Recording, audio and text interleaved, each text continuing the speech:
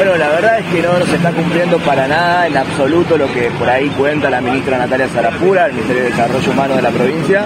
No se están cumpliendo, no solamente que no se cumple, sino que cuando nosotros pedimos diálogo para hablar, contar la situación que realmente se está viviendo en la provincia de Jujuy, que es bastante eh, paupérrima, digamos, los barrios populares, no solamente que no nos abren el diálogo, sino que también cuando nos acercamos a, la secretaría o al ministerio nos ponen la policía y no se puede dialogar, digamos, la única respuesta que tenemos hoy en día.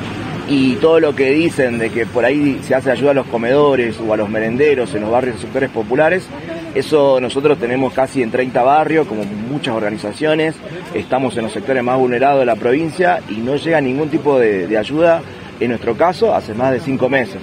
Así es que la verdad que nos sorprende que por ahí salgan a decir ciertas eh, noticias como que hay presupuesto cuando sabemos que en realidad no lo hay, ¿no? Así que bueno, no sé, nos sorprende, digamos, el tipo de mentira. Bueno, alrededor de 1.200 millones de pesos se incrementó en política alimentaria. Es más, este anuncio decía que en los comedores iba a poder otorgarles el almuerzo cinco días a la semana, porque sabemos que debido a la falta de mercadería muchos solamente dan dos o tres días.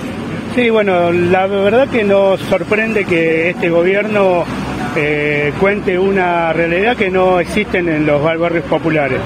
Lo cierto es que desde Desarrollo Humano hace más de tres meses que no llega la mercadería, que siempre es dos kilos de arroz o cinco, azúcar, dos, tres, cinco, un poco de hierba. La verdad que la, caradurez de la ministra Zarapura ya no tiene límite. Eh, nosotros siempre hemos pedido diálogo porque creemos que con el diálogo podemos acordar mejores políticas. Quisiéramos saber dónde están esos comedores donde se comen cinco veces al día. Nosotros como mucho dos o tres días podemos sostener, pero bueno, eh, volvemos a repetir, creemos que esa es una caja que el gobernador tiene para poder hacer sus campañas de carácter nacional, porque las campañas en los medios nacionales no son gratis.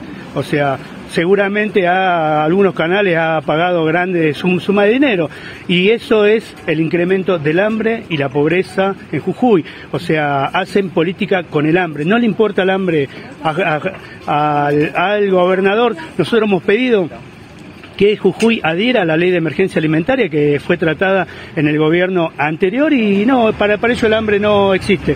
La verdad que volvemos a repetir, somos pacientes como siempre, pedimos diálogo, pero bueno, volvemos a repetir, cada tanto esa paciencia se agota y tenemos que volver a salir a la calle con lo que eso implica.